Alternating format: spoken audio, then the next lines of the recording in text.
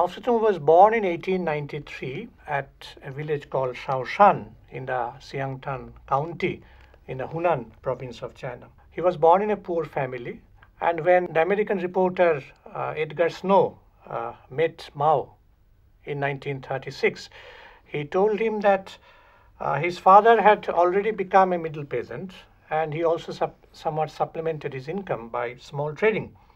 Initially, Mao got himself admitted in some elementary school where Confuci- Confucian learning was the main form of learning, and then got himself admitted in a higher school at Tungshan. It was from his arrival at the school uh, that Mao first uh, could have a first hand experience of the stratification of Chinese society. And that was the real beginning of Mao's political career and it enabled him to have a more broader outlook of the Chinese society, which was not there in his secluded rural life. Now, after Tungshan, he moved to Changsha. It is a bigger town. It was there at Changsha that he got an intellectually alert and politically conscious student body. And that provided Mao with an ideal training ground for his apprenticeship as a political leader. And in fact, there he got many friends and comrades who, in a later period, joined the revolution under his leadership uh, and made it successful in 1949. Now, Mao is said to have led a Spartan way of life. Uh, when he was in school, uh, he was in the Changsha school. He used to take a cold bath every day in summer and in winter. He was very fond of swimming and mountaineering. And in fact, in the year 1916, he traveled over a wide area in the countryside of Hunan, uh, living on beans and water and sometimes literally on nothing. Such physical toughening was to prove very useful when he first led the First Front Army uh, during a long march in 1934 35. In 1917, Mao was at Changsha, and there he formed uh, a society which was called the New People's Study Society, and which, in some way or other, played an important role in the future course of the Chinese Revolution. This society did not have uh, any political identity, uh, nor did it have any concrete program of action. But the members of this society, uh, they uh, accepted the method of seeking truth from social practice. And in fact, that became the method of the Communist Party of China. In September 1918, Mao uh, went to Peking, where he met eminent intellectuals of China at that time. As for example, there was Li Ta-chao, who was a librarian and professor of political economy. Then we have Chen Tu-hsiu, who was a dean of the Faculty of Letters in University of Peking, and there were also many others. And Mao got a job as an assistant in the library, not as an assistant librarian, but as an assistant in the library, and that helped him a lot to get acquainted with the writings of many thinkers, many theoreticians. He particularly referred to Kropotkin, Bakunin, Tolstoy as also Marxist writings. And Kropotkin, Bakunin, they were anarchist writers, and at one point of time, Mao, as his Mao said, uh, he himself became an anarchist for a brief period of his time. Mao had full admiration for Li Ta-chao. Li Ta-chao was a person who introduced Marxism into China. In fact, he was to be killed by Chiang Kai-shek's troops in 1927. The coming of the May 4th movement of 1919 found China in convulsion, and Mao, along with other members of his new People's Study Society, they issued broad, broadsheets and they called a strike of the students in, uh, in many parts of Hunan. And uh, a large number of democratic ideas took shape in their minds, as for example, anti Confucianism, uh, then the demand for democracy and science, uh, of course, uh, acceptance of Marxism, etc. Now, all these characterized the May 4th movement of 1919. And all these ideas were zealously accepted by Mao at that time. Mao wrote a series of articles at that time. And in fact, one of the recurrent themes was on the emancipation of women. He wrote eight to nine passionate articles. That the task for the emancipation of women was closely linked up with the task of the Chinese Revolution because these are inextricably tied up with one another, with each other. That was Mao's realization, which of course he developed in a later period. Now, the Communist Party of China was formed in July 1921. It was formed on a boat on South China Lake uh, in the Zhejiang province of China in the guise of a holiday excursion. That was formed, it was a, it was a secret uh, organization, clandestine organization, so it was formed secretly. Mao became the secretary of the Hunan province. And one of the first acts of Mao after he became the party secretary in Hunan was to organize the workers, uh, coal miners, anyone coal workers, and the railroad workers. He was involved in both, directly involved in both, to organize the working class movements, both in the mines as also among the transport workers. Now, meanwhile, the international political context had been changing. As for example, in 1920, the second Congress of the Comintern was held. At that Congress, Lenin came out with a thesis, which is known as the Thesis on Colonial Questions. And there he pointed out that the Communist International should enter into a temporary alliance with the bourgeoisie in the underdeveloped countries. But they should not merge with it and they should retain their initiative, their independent spirit of action, even when they are forging an alliance with bourgeois democracy. So, initiative must be in their own hands while the party or the proletarian groups they forge alliance with the bourgeois democracy or bourgeois parties in the uh, underdeveloped or uh, countries or colonies. That signaled the beginning of a debate within the CPC. And that was held in the Third Congress, held in 1923 at Canton, on whether one should make an alliance with the Kuomintang.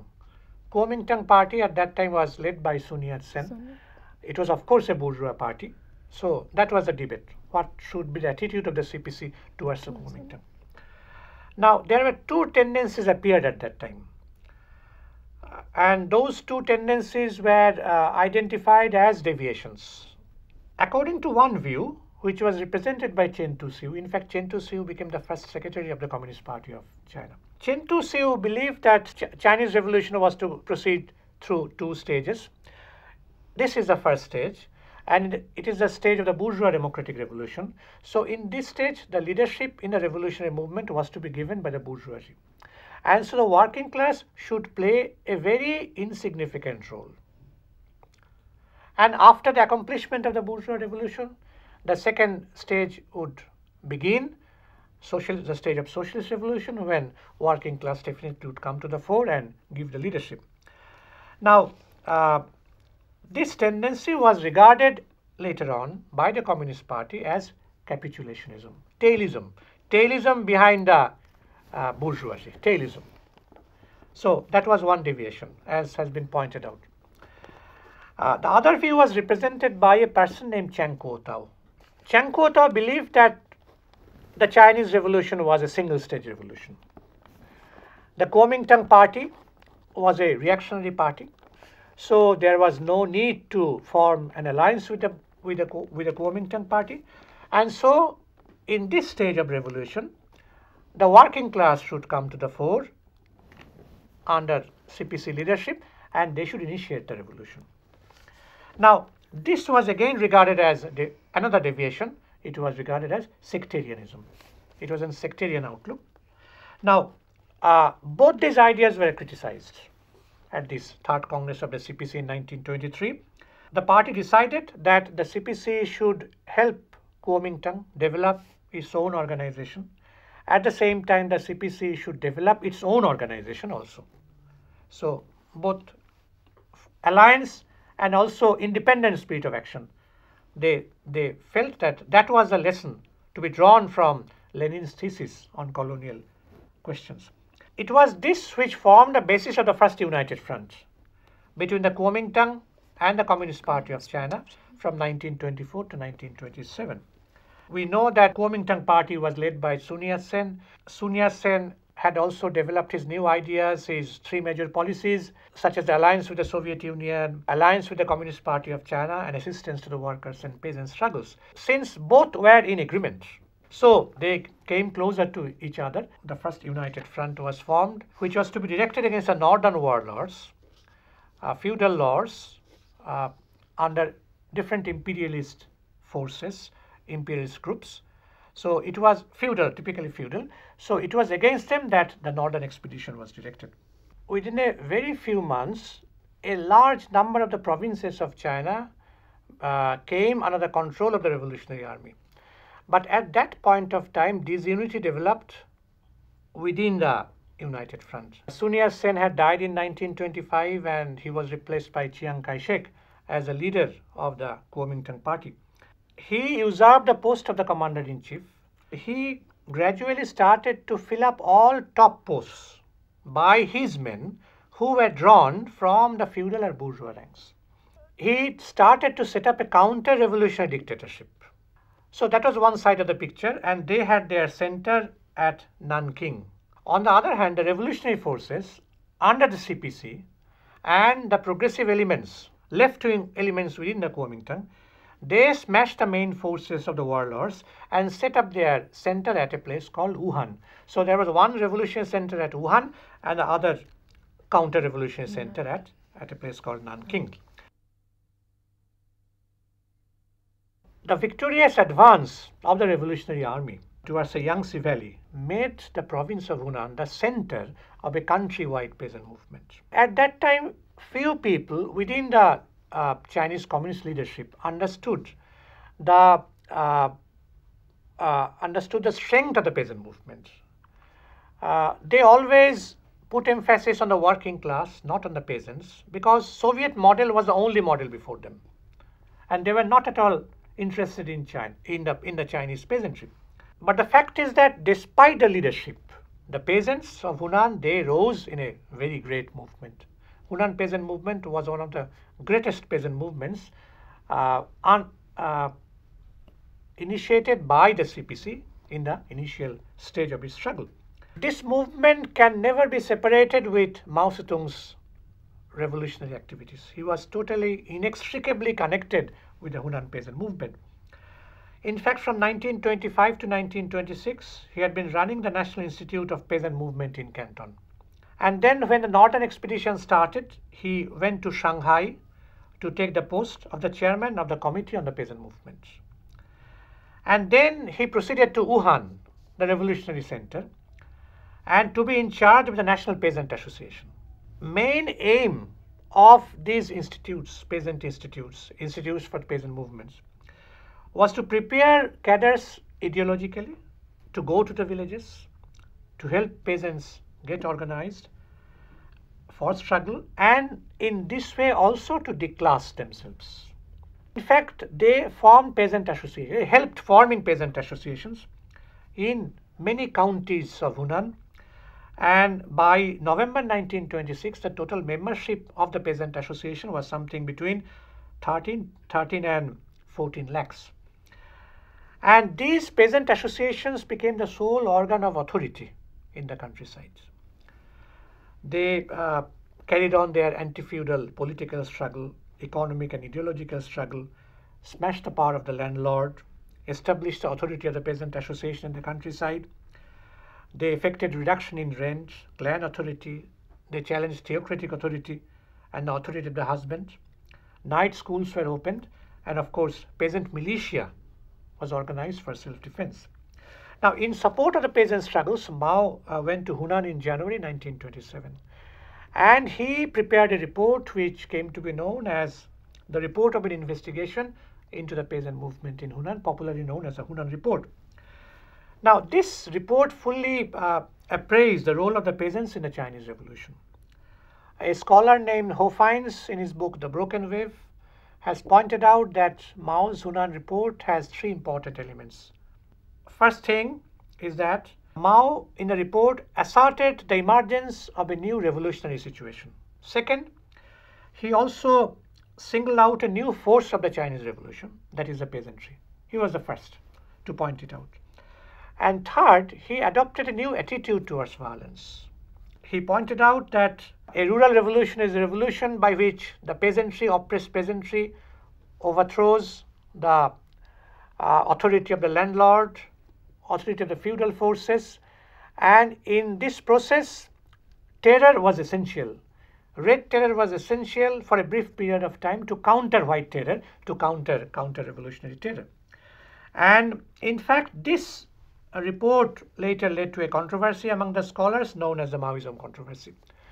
Uh, according to one opinion, uh, here Mao shifted the center of revolutionary movement from the city to the countryside, unlike the classical model, that is the Soviet model, mm. which made the industrial proletariat and the cities as the main centers of revolution. So Mao shifted it from the cities, from the industrial proletariat to the countryside and the peasantry. And according to that school, this was Mao's one of Mao's original contributions to Marxism-Leninism. According to the other view, this it Mao did not when while Mao uh, emphasized the role of the peasantry, he did not mean it may meant that the peasantry would play a decisive role, the main role in the revolution, but not a leading role. Leading role was to be given as in the Soviet Union, by the working class. But what he emphasized is the role of the peasantry. And of course, he pointed out that there, we should move back to the backward villages for various reasons. And later on, he developed the theory of the agrarian revolution. It, it was developing at that point of time, encirclement of cities from the countryside, creation of base areas, etc. So his contribution lies in making the peasantry, in giving the peasantry what was its due which was never given in the earlier period. That might be his contribution. But otherwise, leadership given by the working class, no doubt about it. And uh, but the peasantry to be the decisive force rather than the working class, peasantry also to be the main force rather than the working class. This was the main difference between the two. Anyway, now meanwhile, the, uh, we are talking about the advance of the uh, Northern Expeditionary Army, and that was followed by an uprising of the workers in Shanghai uh, in February 1927. Then in April 27, Chiang Kai-shek, backed by foreign forces, British, Japanese and American forces, sent troops to kill thousands of workers and party members. That was the Shanghai massacre, and it was the Shanghai massacre which ultimately put an end to the united front between the CPC and the Kuomintang. Now, at that critical juncture, CPC, in order to salvage the revolution from defeat, organized another uprising in Nanchang in Kiangsi in August 1927, where about 30,000 troops took part under the, under the command of Zhou Enlai and Zhu Te. And though this uprising was defeated, it, it marked the beginning of the Red Army. It was from then on that we can uh, trace the beginning of the Chinese Red Army. It was followed by an emergency conference where decision was taken for the autumn harvest uprising which was to take place during the harvesting season. It was also defeated and then the forces they shifted to the Chingkang mountains as was decided earlier and it was on the Chingkang mountains it was it uh, lay on the Hunan Kiangsi border that there the first revolutionary base was set up in 1927. The Nanchang rising was followed by the Canton, Canton rising. It was also defeated during that point of time, Mao had to fight two deviations again. One was the right deviation by Chen Tu-hsiu, who advocated a policy of total retreat by withdrawing all the forces. He was very afraid. He was trembling with fear. Chen Tu-hsiu, very unfortunate. So he was in favor of the withdrawal of all the forces from the battlefield. And the other was the left deviation, this time represented by Chu Chiu Pai, who still believed that China was on the stage of a continuous upsurge, even when it has already suffered a setback, uh, an a major setback in 1927. Sir, will you please explain the concept of tailism? Chen Tu-hsiu's idea was that since it was a bourgeois democratic revolution, it has to be led by the bourgeoisie. But the working class should pay should play only is not only a secondary role but insignificant role. Now, by saying so, what he was actually doing is that the working class should tail behind the bourgeoisie. That was not Lenin's observation. Lenin said that you, the working class should have its own independent initiative. They should retain their in initiative in their own hands. But tailism or tailing behind them does not mean that you have initiative in your own hands. The failure of the autumn harvest uprising forced Mao to take refuge in the isolated mountain range on the Hunan Kiangsi border uh, on the Chingkangshan mountains. And there he was joined by, by another military group headed by Chu Te. Chu Te was a former warlord minded official, now turned communist. And the first revolutionary base was of the Red Army was formed. Now, the French historian Chesneaux, he writes that the process which uh, led the Chinese communists to the peasantry was an external one. It came from the towns. That is, the whole Marxist idea came from the towns. It emerged in the cities, not in the countryside. And the essential motivation for this shift was the need to pursue the revolution in the least unfavorable conditions possible. And it was a new strategy, no doubt, entirely new strategy, which was not seen in the case of the Soviet Union, Soviet Revolution. And uh, the new elements in the new strategy began to appear in Mao's writings during that period. Uh, one can mention three important articles by Mao written at that time. One is why is it that red political power can exist in China? That is the first one. Then a struggle on the Chingkang Mountains. And the third is a single spark can start a prairie fire. These were the three essays which he wrote during the period from 1928 to 1930. Mao pointed out in those essays that armed struggle depended on the existence of geographically limited revolutionary bases. The Chingkang Mountains are covered with forests and wild beasts. And uh, in such a situation, it was possible to seize power and retain it. It is to take advantage of the terrain, advantage of the terrain, without necessarily achieving victory throughout the country. And an important difference with the 1917 revolutionary effort, that is October Revolution, was that the insurgent regions in China were the most backward economically, the least integrated into the market economy, and the most tenuously controlled by the central government. And this was a major departure from the classical model of revolution, which assigned a leading role to the not only to the industrial working class, but also to the most developed zones. And uh, that is where we have the modern industry. And the strategy naturally was one of prolonged struggle. It would be a protracted struggle. And there is no question of seizing political power in a few days or, a, or in a few hours. There was no prospect of victory or defeat, immediate prospect of victory or defeat as in Paris in 1871 during the Paris Commune, Petrograd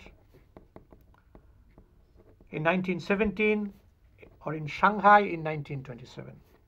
So the struggle was to last for many years. And accordingly, between 1928 and 1930, 11 main insurgent bases were set up on the Chingkang Mountains. In fact, in November 1931, a conference was held at a place called Juichin, where Mao became the chairman of the Chinese Soviet Republic. And a constitution was adopted by the Communist Party, which affirmed that all power belonged to the workers' Soviets. That is, workers' organ of power. Soviet is a common, yes, it originated in the Soviet Union, but Soviet was also, the word Soviet was also used in China in the same sense. It had its labor law, which provided an eight hour working day, workers' insurance against sickness.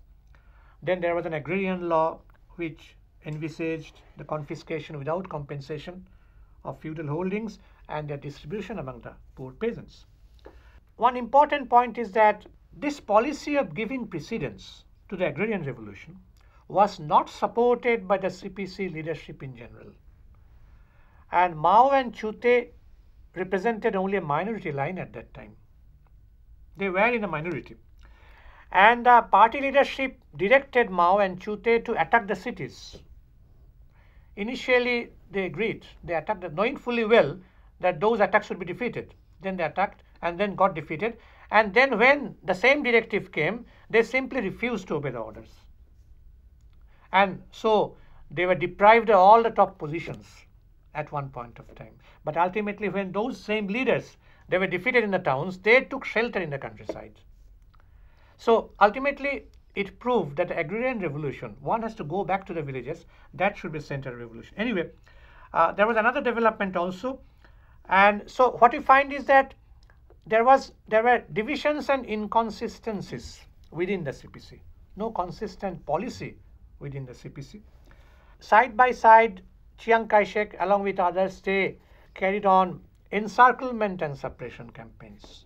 Lakhs of soldiers, troops, lakhs of troops surrounded the hills to carry out encirclement and suppression campaign. Burn all, loot all, destroy all. The policy which was introduced, which was uh, followed also by the Americans in Vietnam, as also in other places. Burn all, kill all, destroy all. Now, they could withstand four encirclement and suppression campaigns. But then in the, in the year 1934, there was a fifth encirclement and suppression campaign, which they could not withstand. And this was one of the reasons, not the only reason, which ultimately forced the CPC to start on its historic long march from South China to North China. The first stage of the communist movement in China uh, since its birth in 1921, the emergence of Mao Zedong as the leader of the Chinese Revolution, uh, the formation of the First United Front 1924-27, uh, the end of the First United Front because of Chiang Kai-shek's policy of repression and persecution. And then we have the Hunan Peasant Rising uh, and the creation of the first base areas on the Chingkang Mountain on the Hunan Kiangsi bordering region in South China.